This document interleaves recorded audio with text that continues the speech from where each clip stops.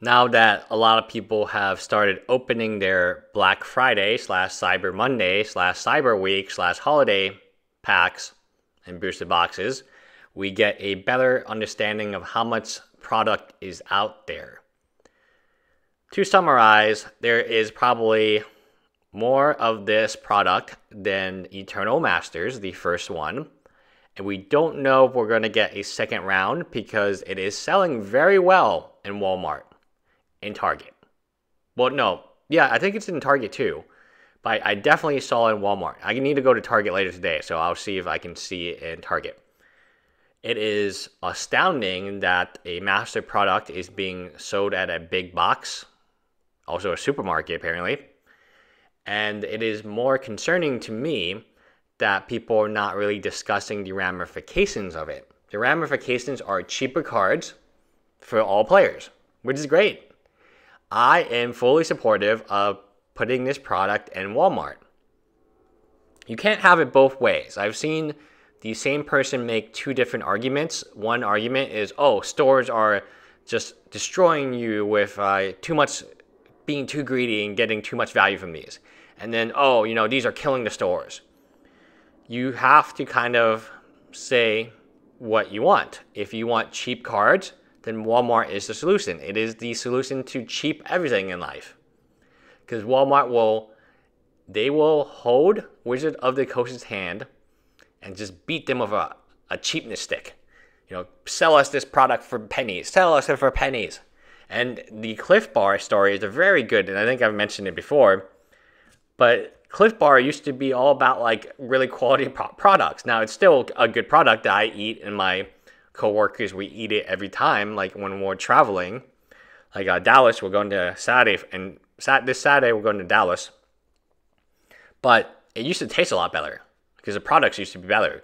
But in order to uh, please the Walmart lords, they had to give in. And that is the same with Wizards of the Coast. Eventually, I knew they had to do it. So, the product of cards, single cards, will be epically low we will never see product this low again until the next time Walmart carries it. Walmart is carrying unstable. Their website is carrying it for pre-order. I don't think there's going to be any future products that are going to be exclusive to local game stores. Mainly, it's a financial decision. They can sell a lot more in Walmart. And not only are they selling magic cards in Walmart, the most important key here is they sell everything in Walmart Transformers, my Little Pony, every Monopoly, any of its IP, Hasbro's, you know, beautiful IP, is sold at Walmart. And why would Magic the Gathering be any different? It would not be. So, my point is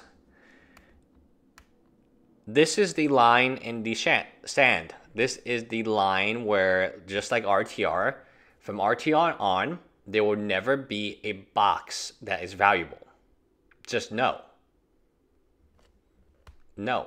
There'll never be a box to hit $400 from a regular standard box. If you look at, if you purchase original Ravnica, yeah, you get there because supply is low, demand is high, and it's a great set.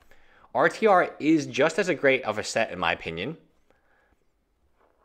Demand is kind of high because of Shocklands. The power level is extremely high.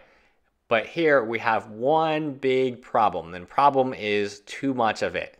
Just too much of it.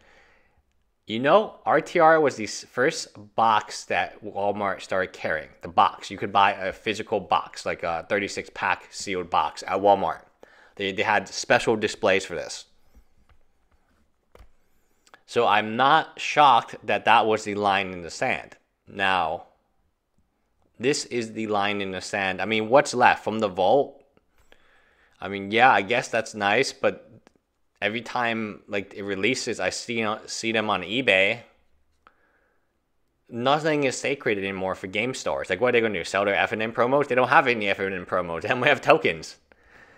So quite interesting to see the evolution. Uh, I've always said that if you want the cheapest card and that's all you care about, then Walmart, this should be a victory for you because these prices indicate that these prices are very clear indication this is the cheapest route to get cards.